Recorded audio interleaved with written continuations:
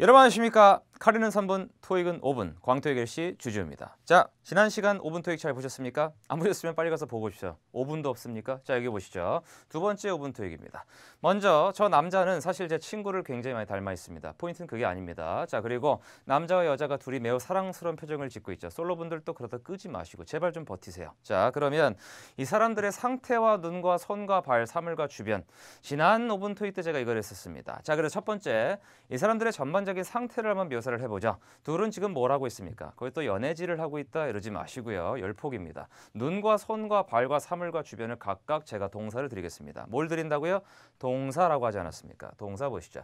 첫 번째, 우리가 알고 있는 보통 앉다라는 말은 sit, s-i-t, set이 제일 많을 겁니다. 그런데 시험에 꼭 그것만 나오겠습니까? 출제자가 무슨 유니세프예요. 그것만 내게. 그러면 be seated라는 알지 못할 얘기를 가끔 합니다. 똑같은 말입니다. 원래 s-e-a-t, sit이라는 말은 seat이란 말은요. 누구를 앉히다 이런 말이야. 그럼 한마디로 be seated라고 하면은 사람을 앉혔다. 즉 이 사람은 앉혀졌다라는 얘기입니다. 즉 이 말과 이 말은 같은 말이 되겠습니다. 절대 같은 말입니다.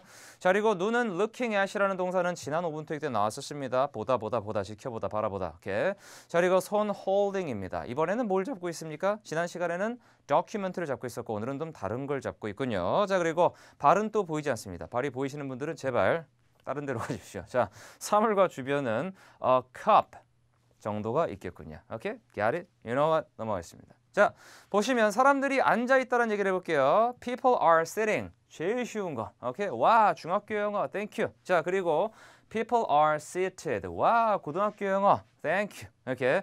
자, 그럼 people are sitting at the desk or people are seated at the desk. 이렇게 두 개가 나오게 되겠죠. 자, 그러면 이 사람들은 사람이 맞습니까? people입니까? 그럼요. 그럼 설마 애완견이겠어요? 그러면 사람들이 앉아 있다. People are sitting at the desk or people are seated at the desk. 두 가지 다 정답 표현으로 쓸 수가 있겠습니다.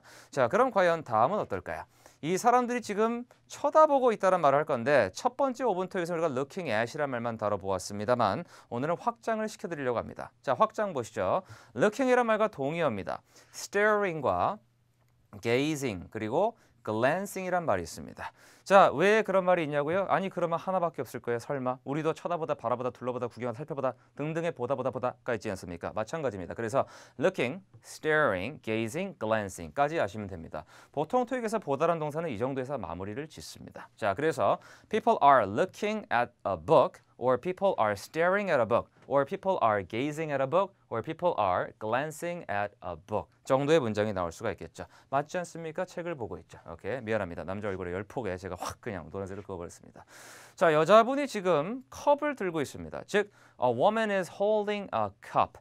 holding이란 말도 동의어가 아까 looking at처럼 있지 않을까요? 그럼요. 없으면 제가 그런 얘기를 괜히 하겠습니까? 자 그래서 a woman is holding a cup. 그리고 a woman is grabbing a cup. 그리고 a woman is grasping a cup이란 말이 있군요. 요 세 개는 같은 말일까요? 그럼 다른 말인데 제가 감히 써놨겠습니까? 같은 말입니다. 잡다란 표현으로 저 세 가지를 아시면 토익에서는 틀릴 일은 거의 없다고 보시면 됩니다. 진짜입니다. 믿어주시기 바랍니다. 자, 세상에 불신할 게 많거든요. 이런 건 믿으셔야 돼요. 사물과 주변 3P의 법칙입니다. 여기 나와 있는 랩탑이나 컵 같은 거, 여기 있는 거 있죠? 이런 거, 유리컵. 이런 거를 만약에 묘사하시고 싶다. 그러면 지금 컴퓨터는 생각 중이다. 이상한 얘기하지 말고 지금 컴퓨터는 매우 부끄러워하고 있다. 이상한 부끄러운 얘기하지 말고 얘네들이 전부 다 그냥 놓여졌다라고 얘기를 하는 거죠. 자, 그게 바로 얘네입니다. put, place, position이라고요. alright? 자, 그러면 문장화 시켜보겠습니다. 컵이 놓여졌다. A cup is put. A cup has been put. 하고 뒤에는 on the desk라고 하는 겁니다. 마찬가지로 a cup is placed. A cup has been placed. Or a cup is positioned. Or a cup has been positioned on the desk가 되겠죠. 이렇게 되면 사물까지 묘사할 수 있지 않습니까? 자, 그러면 어떤 분들은 이럴 수도 있습니다. 저 랩탑을 묘사하면 안 됩니까? 하십시오. 하면 되지 않습니까?